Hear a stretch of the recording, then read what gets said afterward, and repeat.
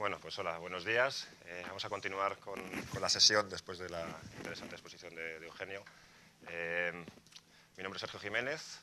Me voy a solidarizar con las minorías, puesto que no soy teleco, soy, soy químico, soy ingeniero de materiales, con lo cual me encuentro un poco en tu misma situación también, que no tenemos competencias definidas, así que me siento muy, muy cercano a alguno de vosotros. Y bueno, vamos a explicar durante la siguiente hora y cuarto que ha quedado un poco reducido el tiempo, eh, una de las actividades que realizamos aquí, en, esta casa. Juan y yo somos, somos personal de la, de la EOI y vamos a explicaros un poco pues, los temas relacionados con, con perspectiva tecnológica. Como yo también he sido alumno de un máster y sé lo, lo duro que es estar ahí durante durante seis horas escuchando sin parar. Vamos a intentar hacerlo esto lo más, lo más ameno posible y por eso hemos preparado la, la presentación partida en, partida en dos. Yo voy a hacer una presentación cortita de 20 minutos, media hora, sobre la presentación general de qué es la perspectiva y qué, qué es lo que hacemos en, en, esta casa. Y luego Juan nos presentará un, un caso caso práctico, uno de los últimos proyectos que hemos llevado a cabo aquí en, en Opti sobre un tema que, que vemos de muy de actualidad, como es, como es tecnología sobre envejecimiento activo. ¿no? Y veremos a ver pues, bueno, cuáles son las tendencias que existen ahora mismo sobre, sobre el envejecimiento y de qué manera la tecnología puede hacernos pues, bueno, que llevemos una vida, una vida mejor durante los últimos años de nuestra, de nuestra vida. Así que yo estaré en 20 minutitos, media hora, hago la parte un poco más aburrida tal vez, y, luego Juan nos pasa a la parte más, más entretenida, más práctica y que a lo mejor os, os interesa os interesa un poco más. Bueno, este tipo de actividades las llevábamos a cabo en un departamento dentro de la casa que no sé si viene el, lo, el, el logo, que se llama, se llama Opti, que es un observatorio, un observatorio de prospectiva tecnológica industrial y que bueno, nos hemos incorporado a la, a la EOI hace pues, ya casi, casi un año. Éramos una fundación independiente y con la reestructuración del sector público español, pues bueno, pues la, la Fundación Opti fue absorbida por la Fundación EOI. Desde entonces estamos muy, muy bien en esta casa y seguimos desarrollando las mismas actividades que hacíamos hasta el momento, que son fundamentalmente eh, relacionadas con, con con ejercicios de perspectiva, de perspectiva tecnológica, que es un poco lo que os voy a contar ahora. ¿Qué es eso la perspectiva? ¿Para qué sirve? ¿Y, quiénes somos nosotros? ¿Quiénes somos Opti?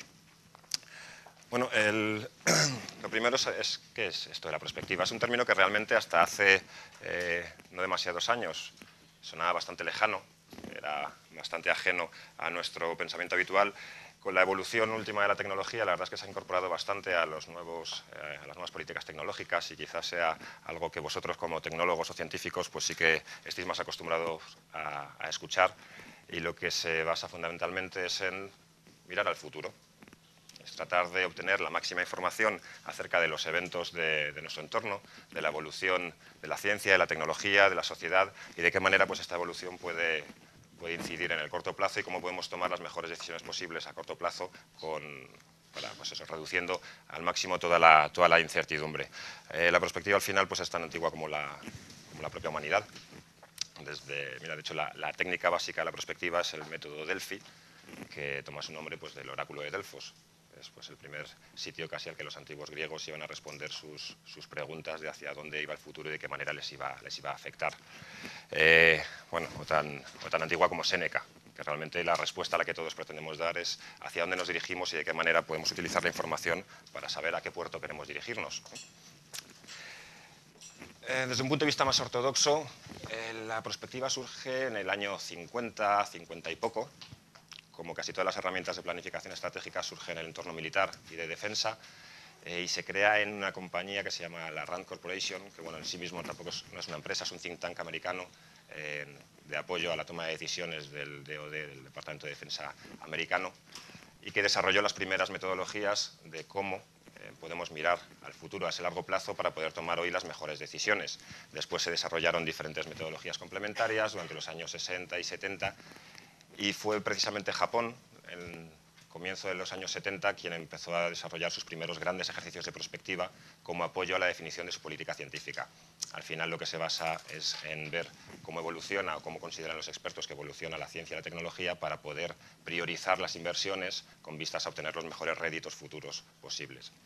Eh, Japón se encuentra ahora mismo en el séptimo o octavo, me parece, ejercicio, gran ejercicio de prospectiva tecnológica.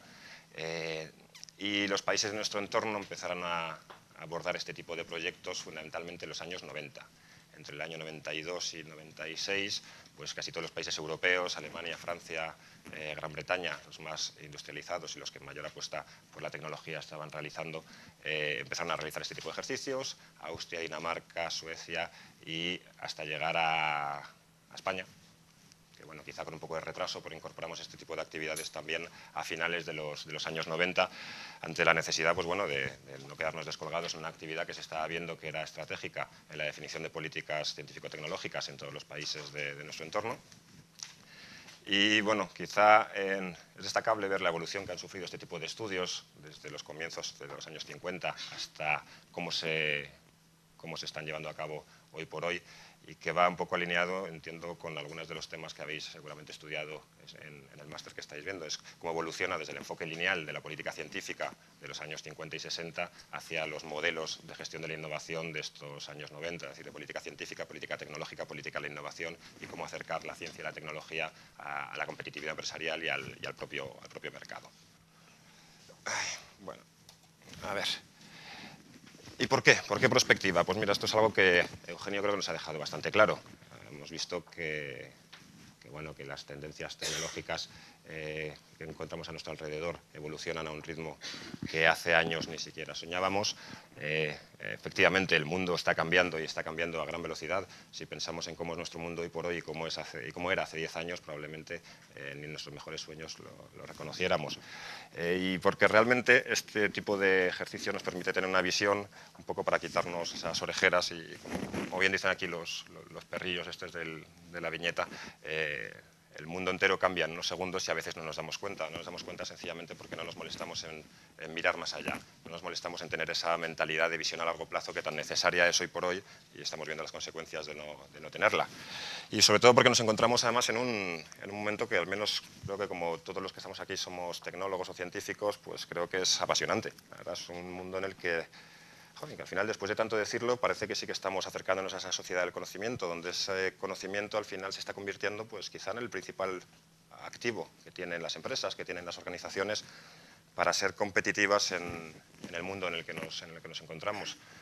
Estamos en un mundo en que eso, la evolución de la tecnología, la evolución de la ciencia nos dibuja cada día escenarios diferentes, escenarios que no sabemos hacia dónde nos pueden llevar.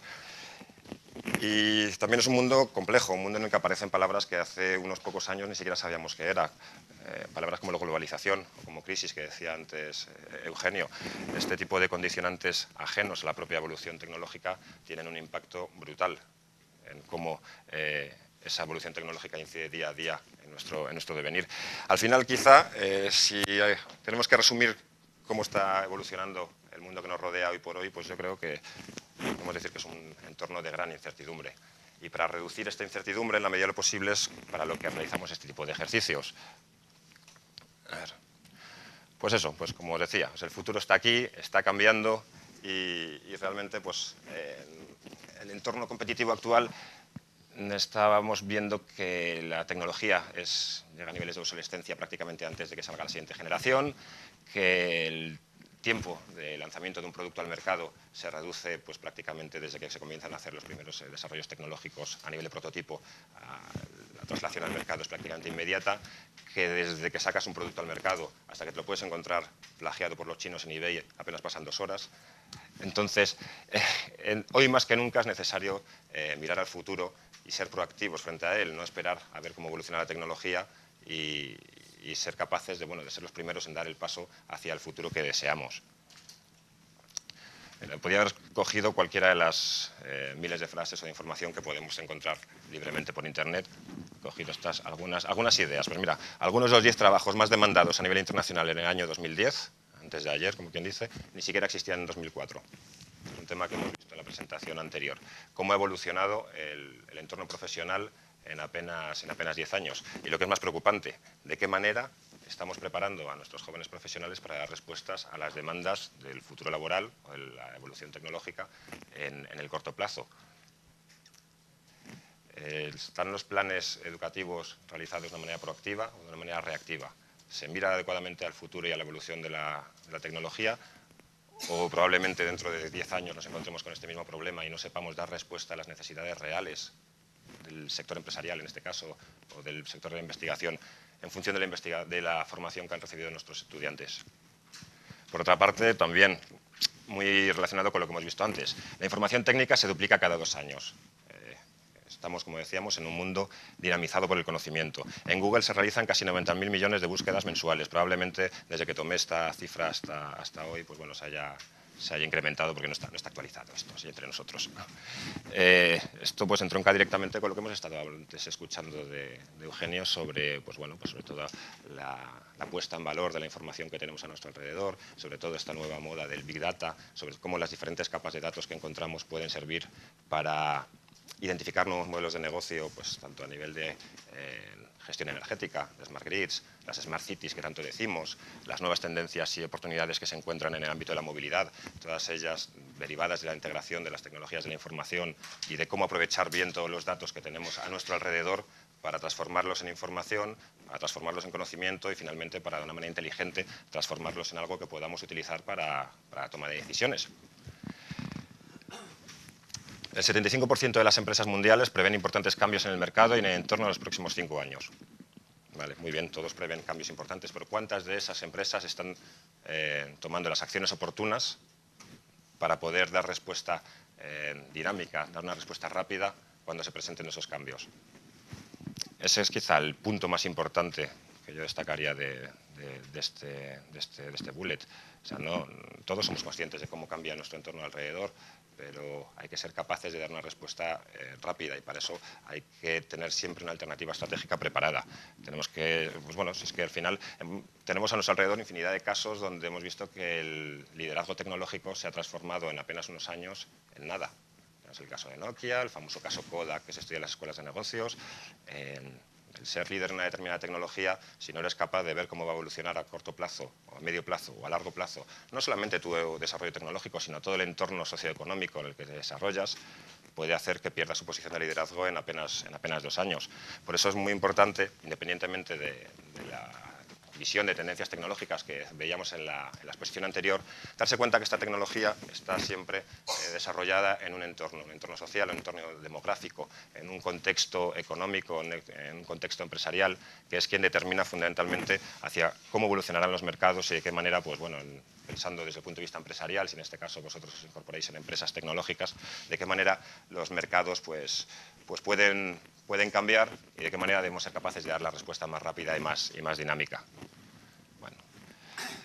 Mm, las actividades que realizamos siempre se fundamentan en estos dos puntos. El que los condicionantes externos nos dibujan infinidad de escenarios posibles, escenarios plausibles, y que frente a cada uno de estos escenarios, eh, como os decía, impuesto por las condiciones de contorno ajenas a nosotros, hay infinidad de futuros. Y esos infinidad de futuros sí que podemos ser nosotros capaces de participar activamente en su elección. En función de cómo tomemos hoy las decisiones, nos posicionaremos en el corto, en el medio y en el largo plazo.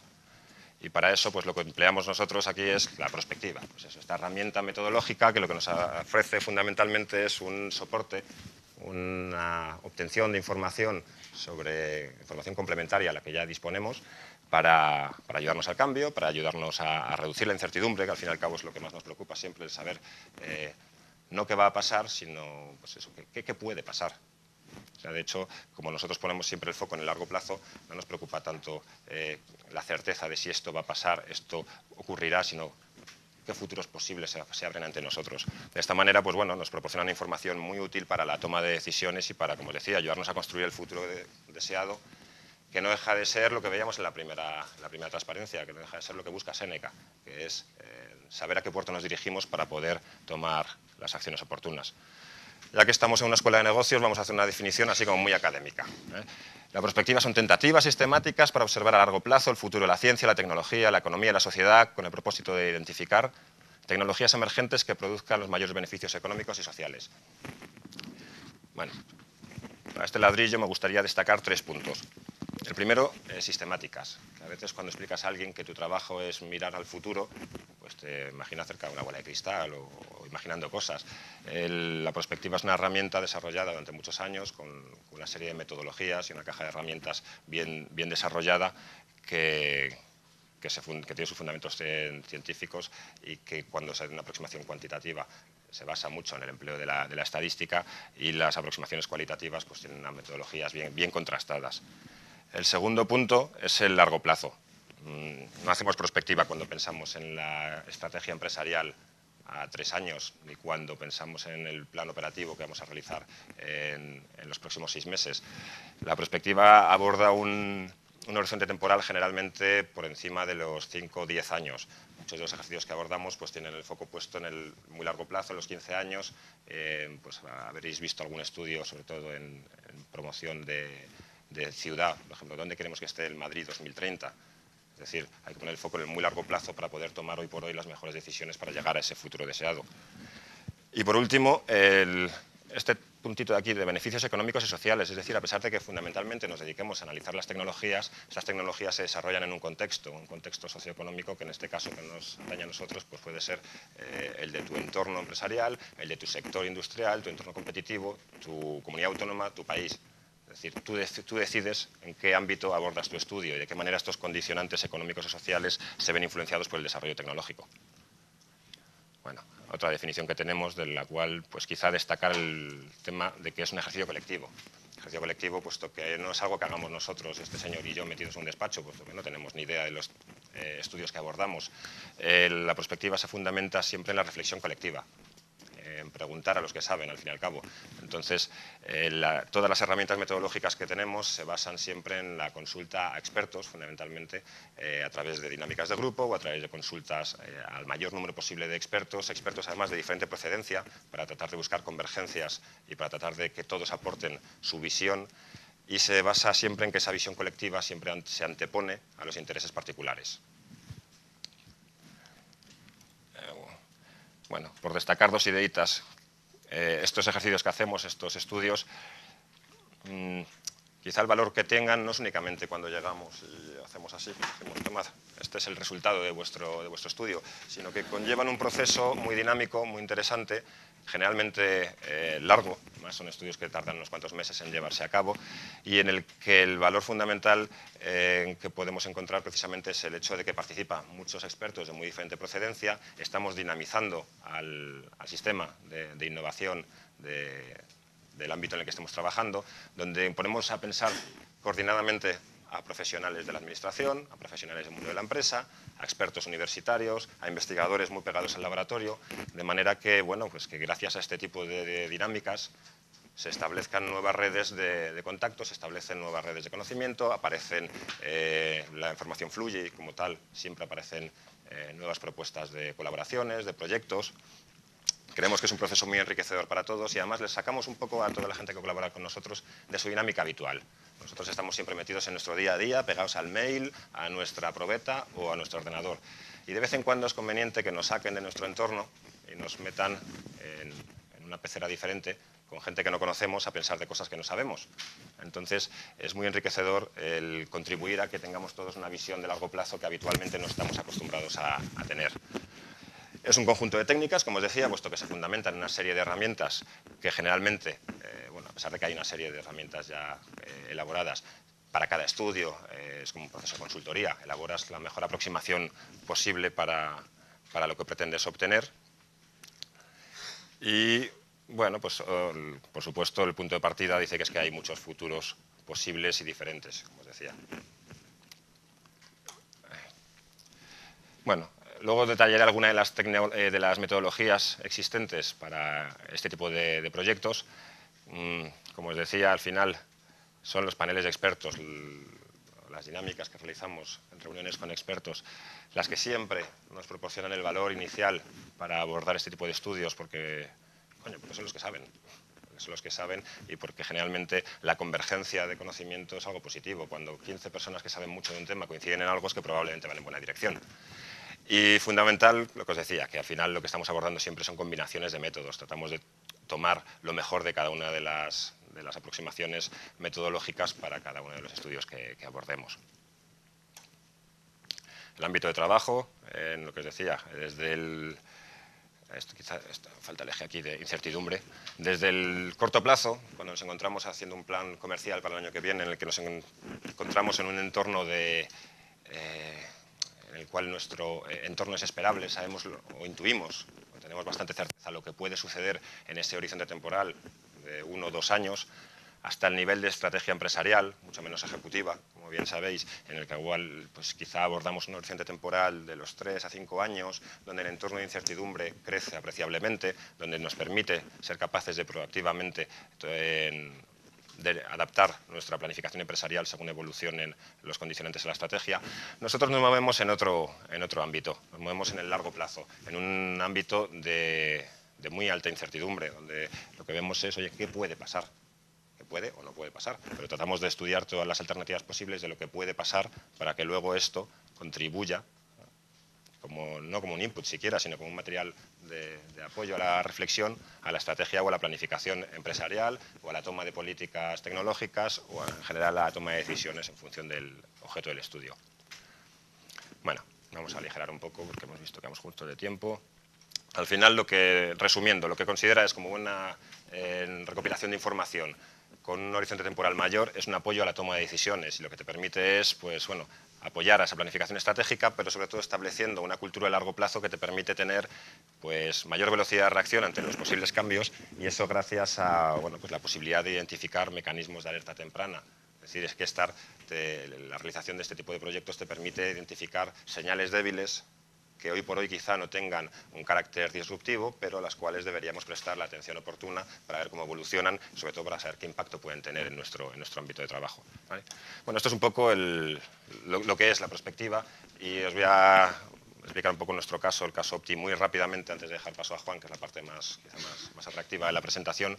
Eh, Opti es un observatorio de prospectiva, como bien como os he contado antes, que surge hace pues, casi 15 años, a finales de los 90, en el entorno del entonces Ministerio de Energía, bueno, Ministerio de Industria, Ministerio de Industria eh, con, bueno, pues con el objeto último de proporcionar ese, estudio, ese análisis de tendencias, de tendencias de evolución tecnológicas, científicas, eh, del impacto que presentan en el entorno socioeconómico para que el propio Ministerio, para que los agentes eh, del Sistema Nacional de Ciencia, Tecnología e Innovación pues puedan tomar las mejores decisiones en base a esa, información.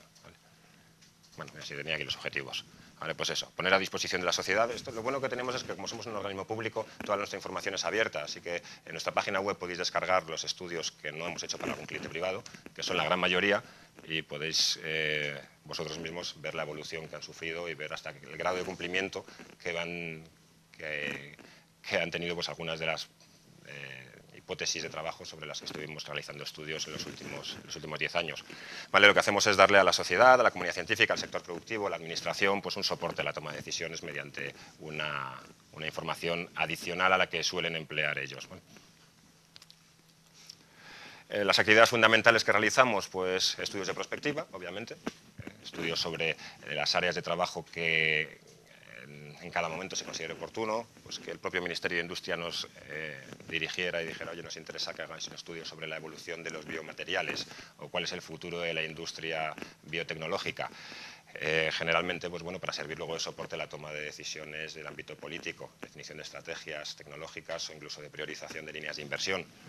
Eh, realizamos también una serie de boletines de vigilancia tecnológica, también a, vuestra disposición, que luego os diré cuáles, cuáles son que son un complemento siempre a la, prospectiva.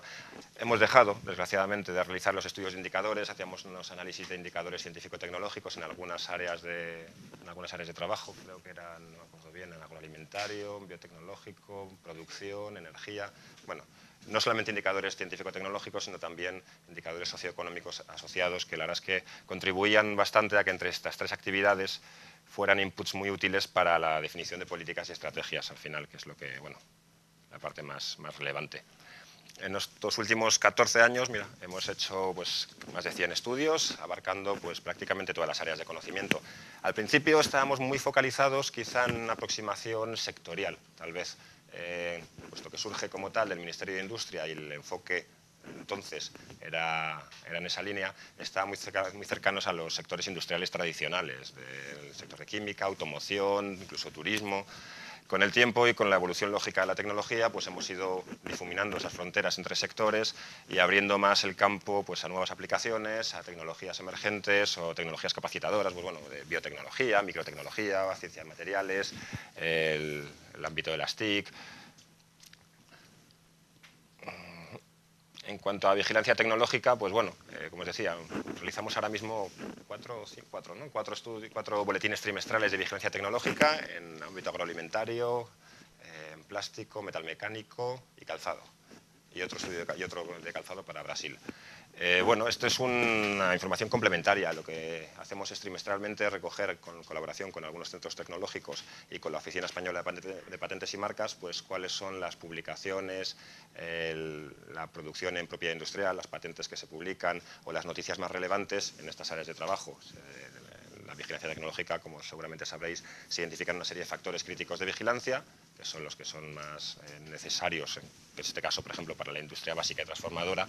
Eh, y sobre esos factores de vigilancia pues, se analizan las publicaciones, las patentes y las noticias nacionales e internacionales para eh, acercar esa información en este caso sobre todo a las pequeñas y medianas empresas que son las que no tienen las infraestructuras suficientes para abordar proyectos de, para tener un sistema de información o un sistema de inteligencia competitiva propia y esta información pues, le es bastante relevante.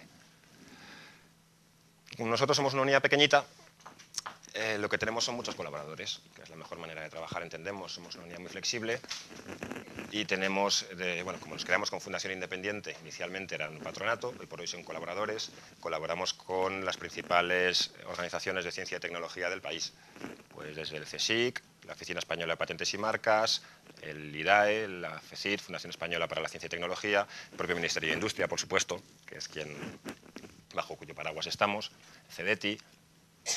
Y luego tenemos una serie de centros tecnológicos, quizá también creemos que de los mejores del país, que son los que nos dan el soporte, digamos, a la hora de abordar este tipo de estudios.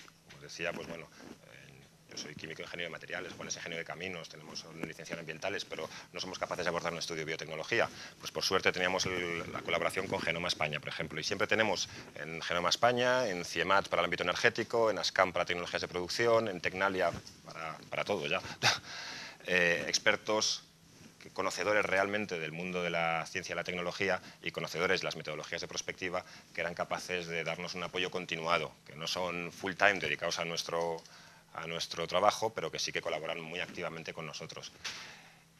Y quizá lo más interesante de esta estructura es que, bueno, después de 15 años se ha establecido mucha colaboración y mucha sinergia entre todos los centros. Eh, la verdad es que es muy bonito ver cómo se han, salido muchos proyectos conjuntos y sobre todo que se ha conseguido quizá uno de los objetivos de, de, Opti cuando se creó hace 15 años, que era inculcar esa visión, esa cultura, la visión a largo plazo que a veces nos cuesta tanto tener y después de todo este tiempo, pues casi todos estos centros tecnológicos tienen ya eh, ellos mismos una unidad de prospectiva, una unidad de vigilancia, una unidad de inteligencia capaces de autónomamente realizar los estudios de prospectiva necesarios o de vigilancia tecnológica necesarios en sus ámbitos de conocimiento concretos. Eso quizá yo creo que es lo más, lo más enriquecedor. Bueno, de trabajo, pues trabajamos para prácticamente todas las comunidades autónomas del, del país. En Europa pues a través del programa Marco hemos hecho un montón de proyectos internacionales y redes en concreto en el ámbito de la prospectiva con nuestros partners europeos. En casi todos los países hay una unidad similar a la nuestra dedicada a prospectiva y tenemos ya unas redes de, trabajo bastante dinámicas. Eh, trabajamos mucho en Latinoamérica, por hoy, como bien sabéis, es un mercado creciente y trabajamos mucho en Latinoamérica precisamente a través de la ONU, de ONUDI, vamos, de la Organización de Naciones Unidas para el Desarrollo Industrial, puesto que el tipo de trabajos que hacemos de prospectiva eh, aplicada a políticas tecnológicas es muy útil en países en determinadas cadenas productivas, en países emergentes, que les puede ayudar a posicionarse en un entorno global muy competitivo. Luego veremos algún ejemplo. Y el año pasado, por primera vez, participamos en un proyecto colaborando en un proyecto de prospectiva en Asia, en Vietnam, en su estrategia de innovación 2020. Proyecto muy gracioso, además, porque toda la manera de trabajar que tenemos nosotros, como os decía, es muy abierta. Es una aproximación completamente bottom-up, de preguntar a cuanta más gente mejor, de que todo el mundo participe, que todo el mundo lo enriquezca. Y, joder, choca frontalmente con una economía comunista, por mucho que digan que es market oriented, prácticamente eh, socialista como la, la vietnamita, donde están acostumbrados a trabajar de arriba abajo, donde lo que dice el partido va a misa. Entonces, las dinámicas de trabajo eran muy, muy divertidas y muy complicadas porque estás pidiendo su opinión a gente a la que nunca se la habían pedido antes. Entonces, veremos a ver en qué queda todo. Hicimos dos proyectos en paralelo. Nosotros, como consultores de la ONU, hicimos nuestra aproximación desde abajo, desde la voz de la ciencia, y luego ellos en paralelo estaban haciendo su manera de trabajar tradicional, la impuesta por el partido, y luego querían comparar los resultados. vamos a ver, todavía no, está terminado, a ver en qué queda todo. Bueno, metodologías hay tantas como académicos sobre el tema, pero quizá eh, las más tradicionales son el método Delphi, las hojas de ruta, escenarios de futuro o determinación de tecnologías críticas. O quizá las que más empleamos nosotros, porque al final en el día a día te das cuenta que lo más sencillo, casi lo más conocido, es la mejor manera de abordar un proyecto. Hay árboles de relevancia, método hay infinidad de, metodologías. Quizá nosotros nos encontramos más cómodas con esto por nuestra manera de trabajar. Muy rápidamente, las tres básicas. El método Delphi es con la que más trabajamos, que es básicamente una manera de obtener información consensuada de todos estos expertos a los que consultamos. Es una encuesta, al fin y al cabo, un poco más elaborado, por supuesto, pero lo que trabajamos siempre es sobre una serie de hipótesis de futuro, para eso planteamos inicialmente unos paneles de expertos, siempre con el soporte técnico los que saben, para elaborar unas hipótesis de futuro y unas cabeceras de variables. Y hacemos esto. Esto es una, encuesta de, método Delphi. Una serie de preguntas que les hacemos llegar al mayor número posible de, expertos, cientos si puede ser, puesto que el grado de respuesta, 30-35% se puede considerar un éxito y les hacemos preguntas sobre esas hipótesis de futuro para que respondan a una serie de variables. Pues el horizonte temporal en el que dicha hipótesis tecnológica se puede materializar. ¿Cuál es la posición científico-tecnológica del país? ¿Cuál es nuestro grado de desarrollo tecnológico-industrial relacionado con esa, con esa tecnología? Decir, podemos tener una grandísima eh, nivel de dominio científico-tecnológico y muy poca traslación a la industria, como desgraciadamente sabemos bien, eh, pues podemos preguntarles cuáles son las principales barreras a su desarrollo, eh, regulativas, tecnológicas, económicas, eh, de recursos humanos. Bueno, la definición de variables y la definición de hipótesis es probablemente lo más importante en este tipo de, en este tipo de estudios, puesto que es lo que determina luego en grado último qué resultados obtienes.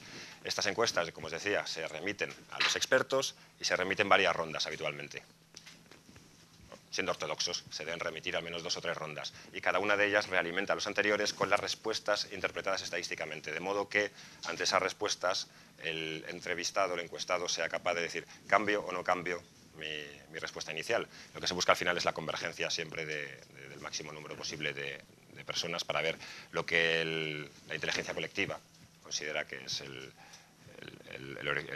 la hipótesis más plausible. ¿Qué más? El método de escenarios es un método muy bonito, muy cercano al mundo empresarial, se emplea mucho en el entorno, empresarial porque nos ayuda a establecer estrategias y sobre todo a establecerlas en entornos que son muy complejos, entornos cambiantes, de muy alta incertidumbre y donde no sabemos realmente qué es lo que nos podemos encontrar en, ese horizonte temporal medio-largo plazo. Lo que hacemos básicamente es describir pues, unas visiones alternativas de, de futuro, describir una serie de futuros posibles eh, y relacionados entre sí. Entonces, para ello, primero analizamos pues, una serie de tendencias tecnológicas, sociales, económicas de todo el entorno y en función de esas tendencias que pueden presentar un impacto sobre tu, pongamos, un sector industrial concreto, identificar cuáles de estas hipótesis de futuro presentan más impacto sobre tu sector industrial, por ejemplo, a escala de mercado, y cuáles generan, tienen más incertidumbre. ¿Vale? Lo que nos interesa es quedarnos con aquellas que tienen un mayor impacto sobre ti, pero sobre todo las que tienen mayor incertidumbre. Son relativamente ciertas y sabemos que van a ocurrir, no nos interesa tanto estudiarlas, puesto que para eso tenemos otro tipo de herramientas y de metodologías. En función de estas variables de alta incertidumbre, lo que hacemos es inventarnos dos ejes independientes, dos ejes que pueden con dos variables y que nos determinan diferentes escenarios. Y para cada uno de estos ejes nos inventamos, por así decirlo, una descripción de cómo son esos escenarios de futuro. Un caso, por ejemplo, sencillo, digamos, dos, dos ejes posibles. Eh, la situación, el desarrollo productivo económico español y el grado de agregación de la Comunidad Europea. Por ejemplo, eso nos podría escribir muy rápidamente cuatro posibles escenarios.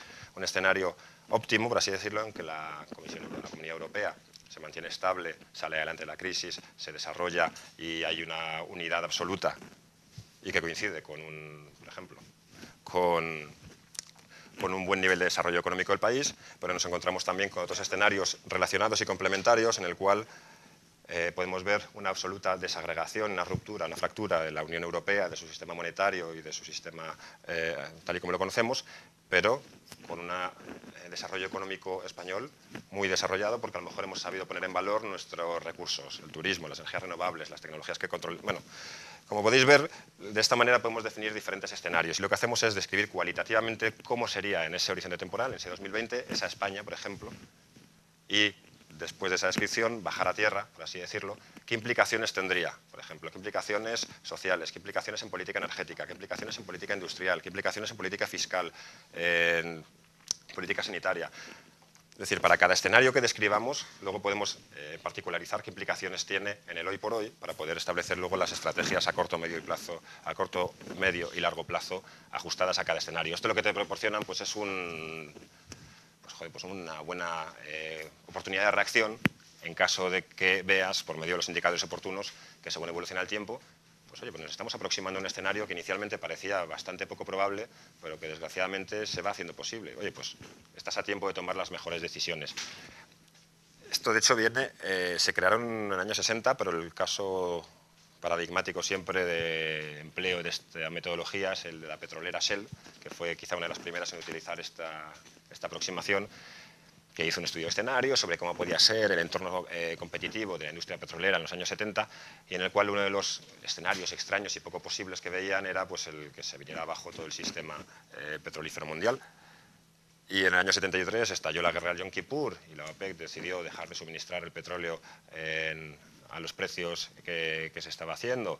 Y bueno, pues crisis del petróleo, todos sabéis lo que, lo que sucedió. El caso es que Shell fue la primera empresa que tuvo la capacidad de maniobra, porque había planteado un escenario muy poco posible, pero que realmente eh, luego sucedió, y tuvo la capacidad de maniobra pues, para ser, creo que de las Seven Sisters, que decían de la séptima, eh, la séptima petrolera mundial, creo que se convirtió en la segunda, después de ExxonMobil, en un entorno de apenas cinco, cinco años, porque supo dar respuesta con unas tecnologías que tenía preparadas para un sistema de refino alternativo, no sabría entrar al detalle, pero, pero la verdad es que es un caso paradigmático de éxito de ese tipo de, de metodologías. Y por último, pues bueno, hojas de ruta, que es algo que probablemente todos conocéis, que lo que es es un compromiso con el futuro, al fin y al cabo. Una herramienta de, para hacer planificación estratégica en la cual tú decides una visión de futuro, es hacia dónde te quieres dirigir, dónde queremos estar, eh, dónde quiere estar mi empresa en determinado eh, ámbito tecnológico dentro de 15 años, y lo que analizas es pues, desde dónde partes, de cuál es tu situación actual, cuál es tu situación objetivo, qué te impide el progreso, cuáles son las barreras, qué factores críticos te encuentras, factores críticos que pueden ser desde los recursos humanos, eh, modelos de negocio, tecnología, normativa, regulación, bueno, hay infinidad de factores críticos y entonces lo que haces es para cada alcanzar esa visión de futuro para cada factor crítico y para superar las barreras, identificar las acciones oportunas, los agentes que han de realizarlas y el horizonte temporal. Al final lo que tienes es estos clásicos mapas de acciones que es como un proyecto, pero a largo plazo. Y bueno, eso también, pues cómo utilizar la perspectiva también mediante el análisis de tendencias para identificar oportunidades de desarrollo.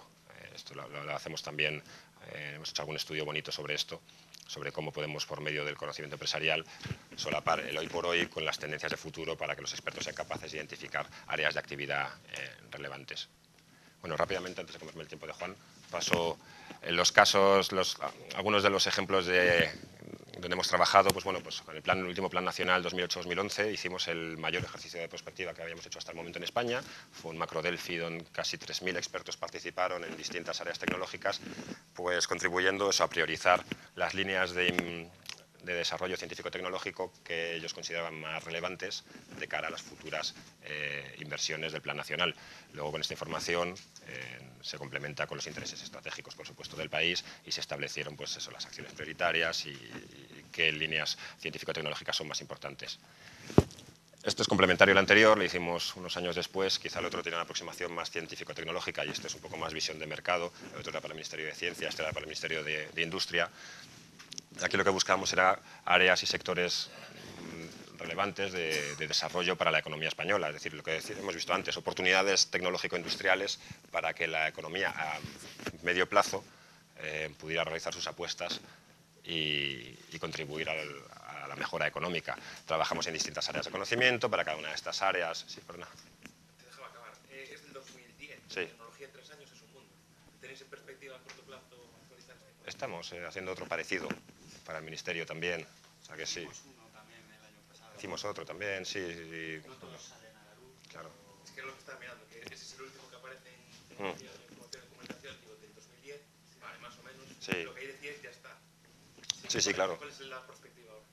Ahora seguimos realizando estudios, estamos ahora participando en un proyecto para el Ministerio de Industria en, en temas relacionados con, con reindustrialización, que es una palabra muy de moda, en posibles oportunidades en las que se puede hacer, eh, donde todavía se pueden instrumentar los mecanismos oportunos desde la Administración para poner los huevos en las cestas en las que haya mayor valor añadido y, contribuir precisamente pues a mejorar un poco el desarrollo industrial del país, que como bien sabéis pues somos un país de servicios y que nuestra contribución de la industria al PIB ha caído en picado en los últimos años y que estamos viendo al analizar la estructura económica de los países del entorno, no hablar de Alemania, que es el caso que todos sabemos, como aquellos países con una mayor participación de la industria en su estructura productiva, pues tienen mayores facilidades para, enfrentarse a, esta situación actual, a salir de la crisis, contribuye mucho más a la innovación, la, industria contribuye mucho más a la exportación, los empleos que se generan por cada empleo en industria se suele generar dos o tres empleos derivados en servicios, o sea que es un poco coger esta idea y seguimos trabajando en ella y con algunos aspectos un poco más de ayuda a, política.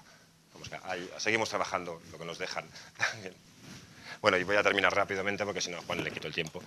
Y bueno, como decía, para casi todas las comunidades autónomas hemos colaborado en sus políticas tecnológicas o políticas industriales, dando pues, información, yo que sé, en Extremadura, eh, identificando sectores de futuro, cuáles consideraban los propios, siempre particularizado las condiciones de contorno regionales, cuáles eran los expertos de allí que consideraban que eran sus áreas de mayor relevancia a corto o medio plazo y para cada una de esas áreas, pues, la biomasa era una, la piedra ornamental era otra, eh, pues se elaboraron una serie de hojas de ruta para que los eh, políticos responsables de la política de innovación o tecnológica pudieran tomar las eh, decisiones y los instrumentos oportunos para, para llegar a, esos- a esas visiones deseadas en Extremadura 2020, creo que era. Bueno, y trabajos en América Latina, en Brasil. Este es el estudio que os va a presentar Juan a continuación, que es, no solamente abordamos estudios desde el punto de vista tecnológico, sino también relacionados con los retos actuales. Los retos a los que nos estamos enfrentando como sociedad en los últimos años no vienen únicamente determinados por la evolución tecnológica, sino pues, bueno, temas como el envejecimiento de la población, los cambios demográficos y de qué manera la tecnología puede ayudarnos a enfrentarnos a ellos en el, en el medio plazo. Bueno, esto es uno sobre biotecnología para el sector de salud, hemos hecho también para biotecnología el sector industrial, sector energético, mira, un informe sobre energías renovables. Tratamos de ser independientes, en este caso, eh, de temas políticos, no es únicamente evolución desde el punto de vista tecnológico. Eh, sobre movilidad en grandes ciudades, igual, otro reto de la sociedad. el- dentro de 15 años, el 75% de la población vivirán en grandes ciudades. Esto tiene unas implicaciones brutales desde el punto de vista del urbanismo, de la gestión de la información, de la gestión de la movilidad. Pues bueno, tratamos de abordar algunas de estas cuestiones y, eh, estudiarlas en estos, en estos proyectos. Bueno, tampoco voy a entrar, farmacogenómica. Casi mejor le voy a dejar la palabra a Juan, que continúe dándonos un poco un caso práctico de ese, de ese proyecto que realizamos, que es bonito.